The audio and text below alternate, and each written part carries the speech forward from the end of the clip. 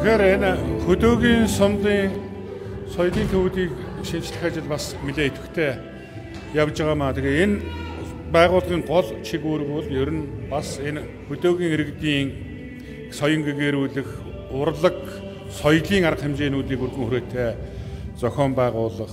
За хүүхэд багчуудаа бид бас энэ соёл урлагийн чиглэлээр бас төлөвшүүлэх, хөгжүүлэх.